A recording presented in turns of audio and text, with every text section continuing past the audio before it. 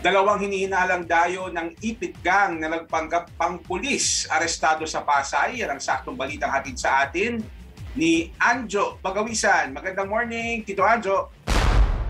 Magandang morning, Tito Jeff. Nakumpiska ang dalawang baril mula sa dalawang lalaking itinuro nga sa mga pulis bilang sangkot sa umano'y insidente ng pang-hold up sa Pasay City. Inaresto kahapon ng mga suspect na kinilalang sina Eduardo Daria alias Toto at Jokno Abuan alias Kuya. Ito'y matapos silang ingus to ng isang lalaki na nagsabing na hold up siya nitong dalawa noong Miyerkules sa EDSA Corner Rojas Boulevard. Sabi ni Pasay City Police Chief Colonel Cesar Padayos, nagpakilalang tropa o pulis din ang dalawa nang ilapitin sila ng mga totoong pulis. Pero wala naman silang maipakitang ID. Doon umano nakuha sa kanila ang isang caliber 22 revolver at isang gun replica pati ang dalawang posas.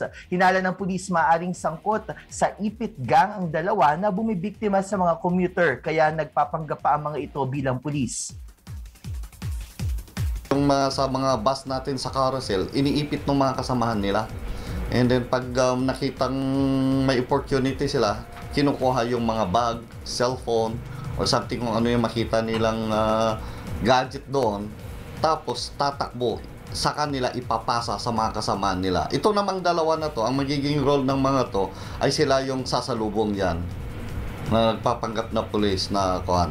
Tapos pag uh, ginanon na kuan, habulin nila, kunwaring habulin, kukunin.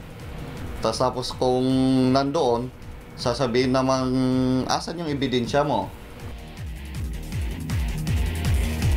Pero depensa naman itong mga suspect, hindi kanila ang mga baril na nakumpiska. Dagdag nila mga assets sila ng isang presinto sa Pasay City at tumulong pa raw sa biktima na hulihin ang totoo ng hold up sa kanya pero nakatakas naman ito. Sabi nila pagmamaneho ng habal-habal ang kinabubuhay nila at hindi nila magagawang magnakaw. Pero ayon naman sa pulis, wala sa listahan ng kanilang mga force multiplier ang dalawang lalaki. Naharap sila sa mga kasong paglabag sa election gun ban at usurpation of authority. Nananawagan naman ng pulisya sa mga ibang posibleng na biktima nitong dalawang lalaki na makipag-ugnayan sa kanila. Ang paalala ng pulisya sa publiko, mas maging alisto sa lansangan at ingatan ang mga dalang bag at gamit, lalo't muling dumadami ang mga tao sa labas ngayong nasa ilalim tayo ng Alert Level 2. Tito Jeff, balik sa'yo.